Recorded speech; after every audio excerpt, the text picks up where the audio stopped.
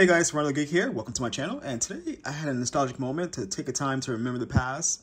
Devices that we all may have used or have had in the past or um, have thrown away. So let's take a look. This is not in chronological order, but this is what I found in my little tech drawer, excluding the new ones, of course. So for current gen, I have the iPhone 14 Pro Max. I think we're all current with that one. Um, the Google Pixel 7 Pro. That's been pretty cool. And here, I don't know if you guys remember the HTC Windows Phone. I think this was the 8X, if I remember. It's been a while. I don't know if I have the charger, but it looks like a micro USB charger when that was in style. But good thing about these phones, when they first came out, they all had the Beats audio. So you had superb bass quality that was simulated from the software, but man, it was it was a beast. And I just missed the Windows tiles that came with it back then. I wonder will this still power on? Let's see if I can give it a power. And maybe not.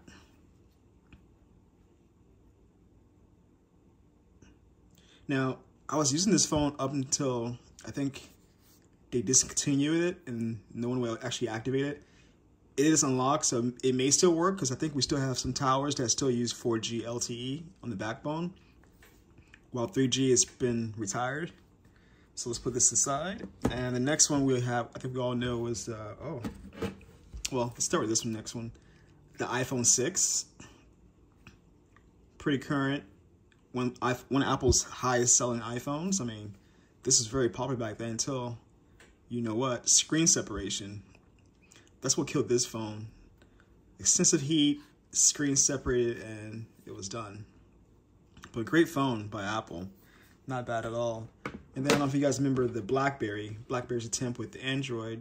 This has also was LTE 4G. And I believe this was, uh, I don't know if you guys remember the name of this phone. I can't remember. It's been a while. Was it the BlackBerry? Let's see. Look, removable battery. That's pretty rare. and it doesn't tell me. It says research in motion. BlackBerry STL. I'm sure I'll get it when I Google it, but I'm gonna leave it just for now. I see, I see the name in my head, but I just can't remember the name of the phone. But we had micro USB. Looks like a an output for H, micro HDMI output as well. So Research in Motion was pretty popular back then. Great phones. I love the Blackberries. So those are good times. AT&T. So this was uh, when the Windows Phone as well. Had a keyboard out as well.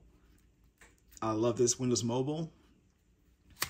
This is pretty cool. I think back in high school in my days, probably showing my age, but this is pretty standard. You had the, it was comparable comparable to the T-Mobile Sidekick at the time. You could text, you could talk, touch screen. I think this had a stylus as well.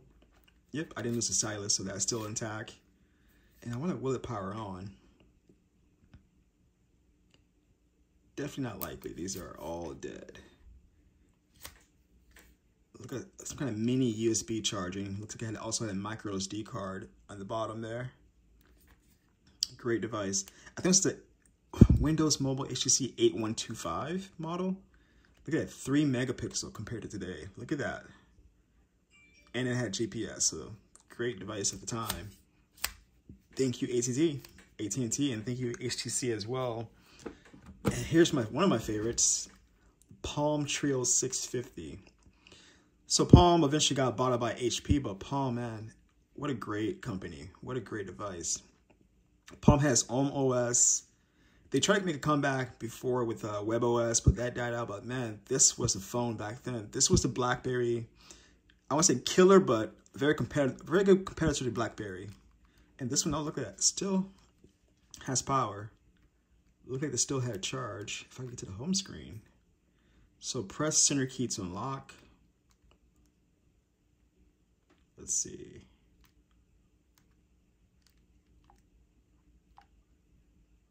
Okay. Look at that. That's amazing. Man, these phones were awesome back then. I love the UI. That's pretty cool. So notice I keep pressing the end button there and it turns off. So that's part of the key guard to activate the key guard. So let's press the button to unlock. I did.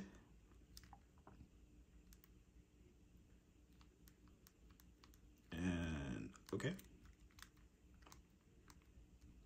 Maybe I'm not pressing it hard enough. Oh, there it goes. Look at that hot sync. Look at the camera. Man, that's pretty amazing. I miss you, Treo. If they could bring back these phones with 5G, I would be, I would buy it. I would totally buy it. But definitely want the removable battery. Let's go to another phone as well. I don't know if you guys all remember Motorola and their Nextel line. Oh my gosh. The chirping, the walkie-talkie feature, GPS. It's so simplistic. And to be able to text this, text with this all day was easy. I remember my old phone prior to this one, it would wore out because of the heavy usage, but these phones will last forever. Remove the battery, they could take a beating. Not sure they're waterproof, but this one lasted for a while. Let's see if I get a power on this one. This is the Motorola i580. And yeah, that's probably dead. That was probably in my drawer for too long. Maybe a little charge from the battery? Yeah, not likely. But man, so these phones were all phased out when Sprint bought Nextel.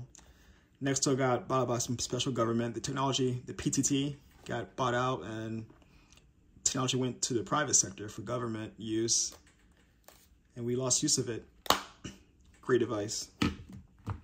Now before that was the PDAs. And before this one, I had a iPAQ that I lost, but this is a Dell. This one is a Dell Axim. Looks like the X50V. I think I saw the stylus on here. Yep, stylus still there.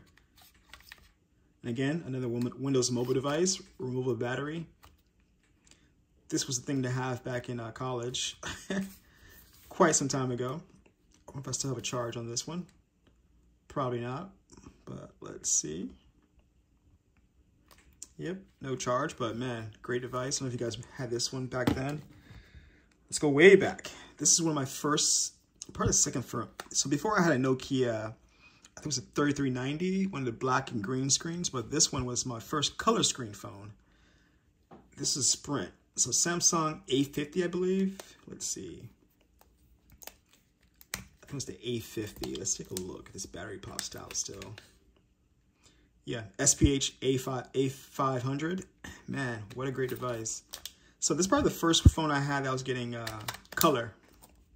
I remember when this first came out, you had a color screen, although small, but you could see your text messages in color. It was amazing. And then color screens took over. I mean, this is amazing phone. Let's see if we still get a little charge to it. And most likely, not really. So I'm maybe the Treo is still being used. I'm surprised I had a charge still. Yeah. But what a great device. That took me through high school. And before that, we can't forget the StarTAC. Motorola StarTAC. This was used on Verizon and other carriers. What a great device as well. Look at that. It gives me these pager vibes. You have your, your earpiece here, your microphone there, I think you had a little camera here, if I believe. Can't remember. Not a, not a camera, but some LED lighting. It's been a while, and I wonder if I got any power to this at all.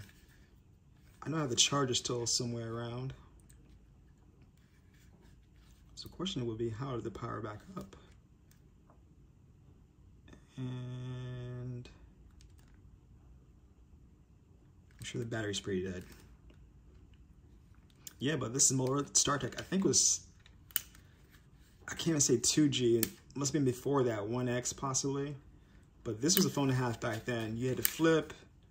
You didn't have the bar phone anymore. It, it was pretty cool. You were pretty cool back then if you had this. Great device. Definitely one of my keeper my keepers here for my collectible. And that's it, guys. So what phones did you guys have back then? And what was your favorite? Of all these, aside from the Nokia I don't have in the table, that was one of my favorites. I'm gonna say the Treo 650 is still one of my best favorites to like to use. I would still use if I if it still worked, but um, this is a great device. I love the form factor, small, portable, It got the job done. If they could bring it back, that'd be great. I would buy. Thanks, guys, for watching. A little nostalgic moment. Ronel the Geek here. See ya.